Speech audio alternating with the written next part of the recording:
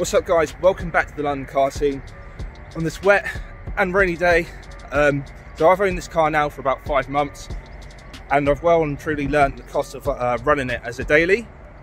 So I want to share with you guys how much it costs to own this car and just run it. So yeah, let's jump inside the A45, go for a spin and I'll talk about how much it's been costing me these last couple of months to own.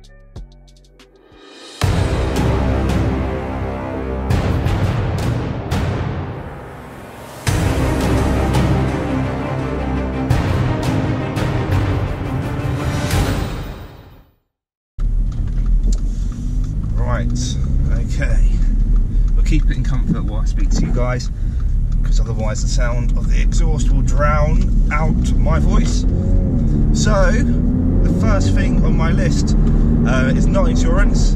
A lot of people probably think it's insurance, but it's definitely not. Um, insurance is quite a surprising one on this car, especially for me. Obviously, it's going to be different for everyone, but we'll get to that once I talk to you about the main thing about driving this car as a daily. And obviously, I'm mentioning the word daily, so obviously, it's going to be petrol.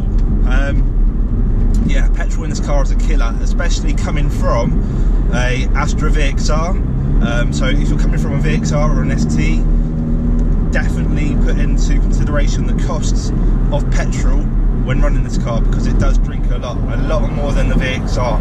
Uh, I kind of thought it would, but I didn't expect it to be as much as what it does. I'm constantly spending my time in the petrol station. I thought I did with the VXR, but it's a lot more than that. So uh, yeah, to put it into perspective, um, I drive roughly 30 miles a day in this car to and from my work, and I do that five times a week. At the weekend, I don't really drive the car because I have another car that I drive, and it costs me roughly about 50 pounds to fill up each week and that's just uh, running it. Sorry, I'm looking left and right because I'm at a junction. That's just running it as a car to work, 30 miles every day, and it's costing me costing me 50 quid a week. So yeah, definitely, definitely take that into consideration because I, I, as I said, I did, I did put it in my budget, but I didn't really expect it to be as much as much as what it is. Um, and also with this car, you need to really run. It tells you on the fuel cap to put in the 98 RON stuff, so you really have to put in the the V power or the Tesco Momentum. Don't put in cheap shit. Don't skip out on it because you will pay the price. On an engine like this, you need to keep it in tip-top condition, so you constantly need to run the best petrol in your engine as you can. So, number one, petrol. Definitely consider the petrol prices. Obviously, petrol prices rise at the moment. V power in my area, I think it's 147.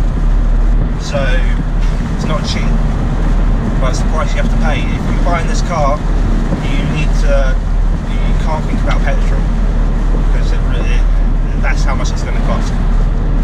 So, point two is definitely the servicing cost of this car.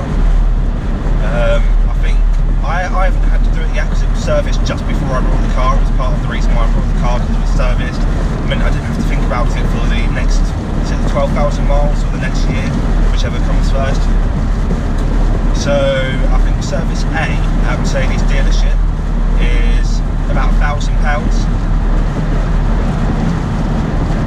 And then service B, I think this, the next service due on my one is service B, which is about 360 quid, which isn't too bad considering it's AMG, but obviously it's that thousand pound service that you need to think about in the next, like, well, in the next year when you purchase it. Make sure it's been serviced recently, just make sure that it's being looked after correctly and make sure it has all the paperwork when you buy the car. And he's going to put out right in front of me. Right, let's just put it in some manual mode quickly.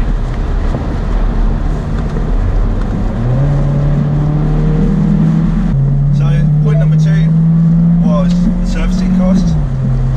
The MOT is standard pretty much everywhere, roughly about 50 quid, so you don't need to really worry about that. That's factored into the price of every car. Uh, definitely number three would be maintenance.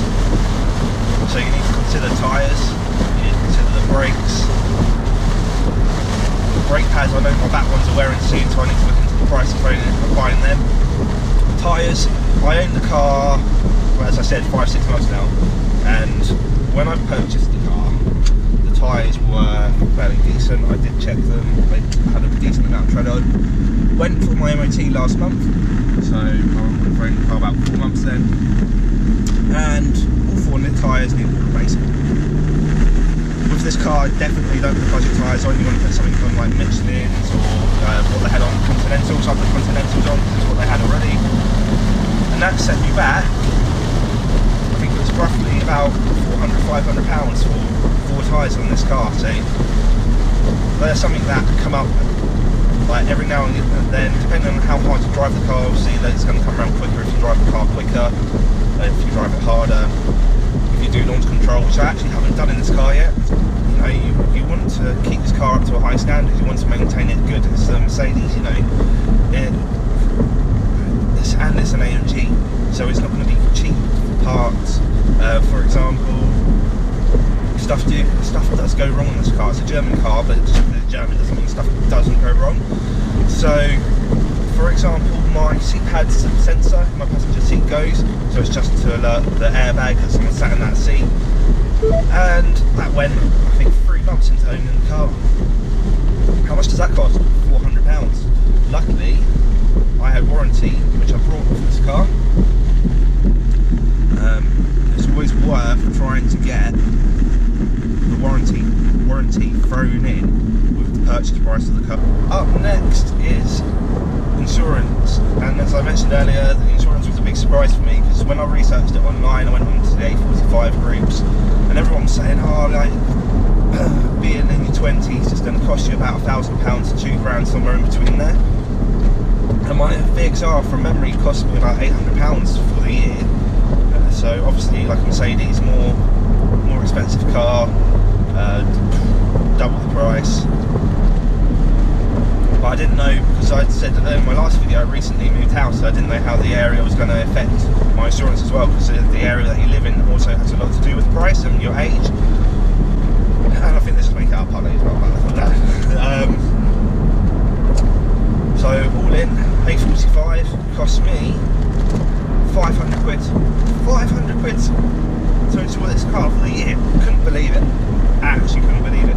Obviously I did quotes before time of year when you do quotes, obviously go up and down. Um, and I was searching for this. I was searching for an A45 since since I had the VXR. They were always on my list of cars to consider. So obviously I had done quotes on them. And about a year ago, when I was researching into them, and I was, I think I said in one of the videos, I was looking at an A45. They were coming back at about a thousand pounds. So I don't really know how it's gone down from a grand to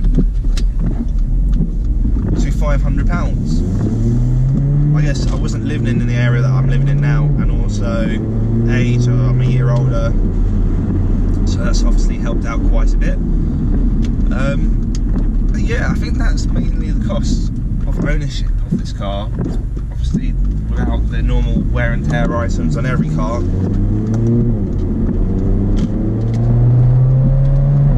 Obviously, just things are a bit more pricier to keep that in the, in the forefront of your mind that when stuff does go wrong with this car, you're going to have to fork out a little bit because it is a Mercedes, it's, it is an AMG, so obviously the AMG parts, they obviously put a higher price tag on it than the normal um, Mercedes parts. So that is something just to keep in your mind Okay guys. Let me know if there's anything else you want to know in the comment section below. Don't forget to give this a thumbs up or a thumbs down if you didn't like it. Um, don't forget to subscribe, hit the bell icon so when I do upload, I'm going to be uploading now every Sunday. I'm promising you guys. I've just been so busy recently with the house, the house move, decorating the house and work. But now I'm back on track. I'm going to be uploading weekly. Um, so yeah guys, thanks for watching. Until next Saturday, see you guys later. Cheers, bye.